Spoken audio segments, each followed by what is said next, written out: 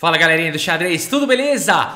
Tie breaks rolando aqui, desempate na final da terceira perna do Grand Prix 2022. Vamos dar uma olhada, os dois norte-americanos, na verdade o japonês Ricardo Nakamura que joga pelos Estados Unidos e o Wesley Sou, o filipino, que joga pelos Estados Unidos. Vamos dar uma olhada nesse desempate aqui. Lembrando que são partidas de 15 minutos para cada jogador, com 10 segundos de acréscimo. Eu vou dar um tempinho aqui para você se inscrever no canal, se você ainda não é inscrito. Muito obrigado pela sua inscrição e vamos então aqui à partida Ricardo Nakamura, galera. O desempate é o seguinte, serão duas partidas de 15 minutos para cada jogador com 10 segundos de acréscimo. Essa é a primeira das partidas, tá bom? O Ricardo Nakamura abre aqui, preparem-se galera, porque essa partida aqui é um espetáculo. Nakamura abre com E4, o Wesley só responde com E5. Temos o desenvolvimento dos cavalos aqui, não F3 e C6, né? Mas sim aqui C3, abertura vienense e cavalo em F6. Tá jogando diferente aqui o Naka. É, bispo C4, bispo C5 e aqui D3 e C6. O Wesley Sou já prepara para jogar aí no centro. Dama em E2 foi jogado pelo Nakamura, Rock, Wesley Sou coloca o rei em segurança, e aqui cavaleiro F3 desenvolvendo peça, e B5, Wesley Sou ganhando espaço, o bispo tá atacado, volta para B3, e D6 preparando para tirar o bispo de casas claras. Rock foi jogado, cavalo BD7, primeiro bispo G5, e aqui A5, galera, olha o desenvolvimento aqui do Wesley Sou, jogando já extremamente agressivo contra o Nakamura. O Nakamura tenta parar aqui esse peão com A4, leva um B4, o cavalo volta para D1, H6, questionando o bispo. O bispo volta para E3 e torre 8. Como desenvolve bem aqui as peças o Wesley Sou. Nakamura segue com C3, tentando ganhar um pouquinho de espaço. Bispo A6, agora crava o peão. Tá complicado aqui pro Nakamura. Dama C2, preparando para jogar D4. E agora B por C3, B por C3 e torre aqui na casa de B8, colocando a torre na coluna aberta, Wesley So. Que que é isso? Parece que é o Wesley So que tá de brancas aqui, parece que ele que começou o jogo. Torre A1 foi jogada e agora D5 ganhando mais espaço no centro. O bispo volta para A2 e agora bispo por E3, cavalo por E3 e cavalo C5. O Wesley So vem chegando aqui, um ataque muito forte já na posição. A torre de E vem para D1 para proteger o peão e agora D por E4 D por E4 e aqui a dama está atacada e o que fazer? Bispo D3, aqui o Wesley So extremamente agressivo atacando a dama e pressionando o peão central.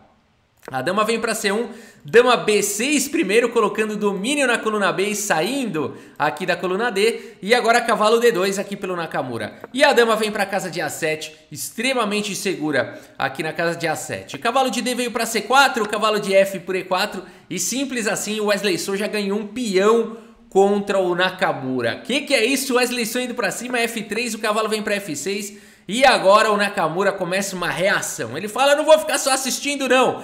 Cavalo D6 agora atacando a torre. A torre vem para casa de F8. É, colocando uma proteção aqui na casa de F7, né? Então agora a casa bem protegida e agora rei H1 aqui pelo Nakamura saindo dessa poderosa diagonal. É, bispo em E2 foi jogado pelo Wesley So atacando a torre. A torre vem para D2 atacando o bispo. O bispo volta lá para 6. E agora cavalo de E em F5. Nakamura vai para reação aqui. Tem um peão a menos, mas tem um forte ataque.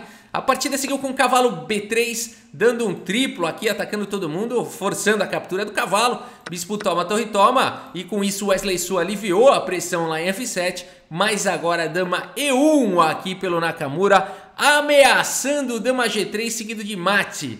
Já tem ameaça seríssima na posição, sem falar do peão G5, né?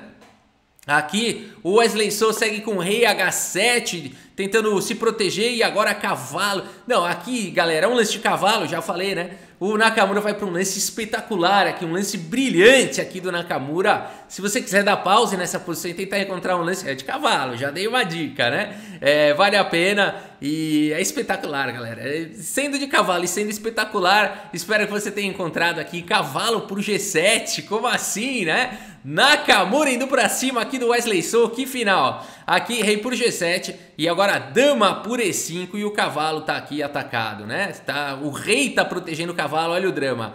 Wesley So tem que se proteger, será que ele vai conseguir? Olha só que espetáculo a manobra do Wesley So agora para se defender. Primeiro dama B8 exclama, exclama duas, né? Porque Aqui já fica cravando o cavalo, mas mais do que isso, fica ameaçando sempre com é, jogar com torre B1, né? Bom, a partida seguiu com H4, o Nakamura já dá uma casa de fuga aqui pro rei. Torre B1 chegou de qualquer maneira, a torre toma dama toma cheque, rei aqui em H2 e agora a dama volta para ajudar na defesa aqui em G6. Manobra espetacular aqui do Wesley So. No entanto, ainda não é fácil porque o Nakamura segue com cavalo F5 cheque. E depois de rei H7, descolando aqui do cavalo, a dama continua sendo a única defensora e chegou torre D6. Uma pancada aqui pelo Nakamura e agora o cavalo está atacado duas vezes e o rei está impossibilitado de defender. E se o cavalo sair daí, está caindo a dama. E aqui eu te pergunto se tem defesa. E, o, e, e, e, a resposta é sim. E a segunda pergunta é qual, né? Então, e aqui o Wesley Son vai para uma defesa brilhante aqui. Se você também quiser dar pausa, tentar encontrar o próximo lance das negras, fala, mas não é possível, tem algum lance bom aqui? Tem um só. E eu espero que você tenha encontrado, é esse mesmo. Torre G8, galera, indo pro contrajogo. Que partida espetacular, no limite aqui, Wesley Son. Bom, a partida seguiu aqui com G3, o Nakamura tem que evitar o checkmate. E agora tanto o cavalo quanto a dama e o rei estão protegendo a casa de G3. E agora, dá para proteger o cavalo? Continua o mesmo tema, o mesmo problema.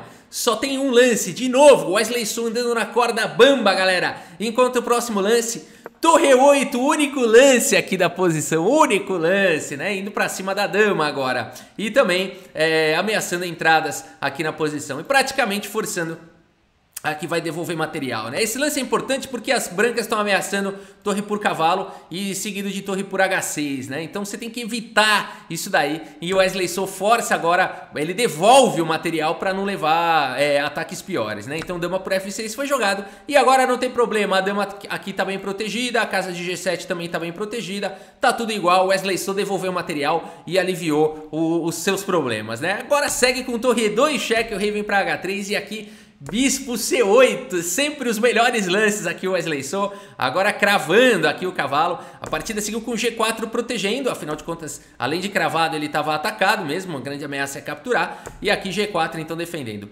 Bispo toma, dama toma, dama toma, peão toma, e a gente vai para esse final, por enquanto Nakamura com peão a mais, e aqui C5, Wesley So protege o seu peão. Torre em A6, torre E3, atacando os dois peões, rei G4 e agora torre por C3, torre por A5. Segue com um peão a mais aqui o Nakamura. Wesley So segue com torre C4, cheque, rei veio para G3 e agora torre B4. Então aqui propondo trocas. É, H5 foi jogado e aqui então aproveita para avançar o Wesley So. Por enquanto o Wesley So segue com peão a menos, torre A7 atacando o peão rei G7 e aqui torre A6. Seguimos com C3, avançando com o peão passado e agora? O que, que, será que vai jogar aqui, né? O, o Nakamura. O Nakamura agora vai para uma ideia interessante. Aqui é o seguinte, galera. As brancas têm uma, um peão a mais, mas na verdade, no fundo, no fundo, as brancas vão ter que acabar trocando aqui é, o peão, é, ter que capturar o peão passado, senão as pretas vão simplesmente vencer, né?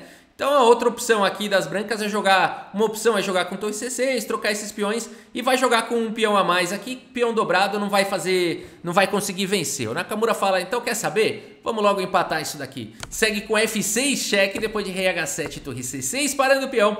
E depois de torre por A4, não torre por C3, que também poderia ser jogado. Mas aqui ele vai for, já força o um empate de uma vez com torre F7. O rei protege, torre cheque, o rei sai. Ataca, o rei protege, cheque, o rei sai. E por isso eles repetiram aqui a posição e tivemos esse belíssimo de um empate que luta, hein, galera? Que luta com altos e baixos. Wesley So começou a partida detonando. Aí o Nakamura foi pro contrajogo. E depois a gente viu essas defesas maravilhosas aqui do Wesley So, né? Uma partida espetacular, digna mesmo de final. Vamos dar uma olhada na precisão aqui dos jogadores no relatório? Aí a gente tem aqui então, olha só, 89.9, 89.9, exatamente a mesma precisão. No entanto, o gráfico mostra uma partida repleta de emoções, né? Wesley So de fato saiu detonando na abertura, acabou não achando os melhores lances, a partida é propícia para isso, né? Pouco tempo no relógio, e ali o Nakamura soube de uma maneira espetacular ali virar, né? Cavalo por G7, coisas maravilhosas. E o Wesley So acabou se defendendo muito bem, né? Muito bem. E o lance brilhante lá, né? Espetacular, cavalo por G7 lá do Nakamura, né? Mas é isso, eles ainda vão jogar. Não temos ainda definido aqui o campeão da terceira etapa, apesar de que o campeão geral do Grand Prix já é o Ricardo Nakamura, tá bom? A gente segue acompanhando aqui as partidas. Muito obrigado pela sua audiência, um grande abraço para todos vocês e até a próxima. Valeu!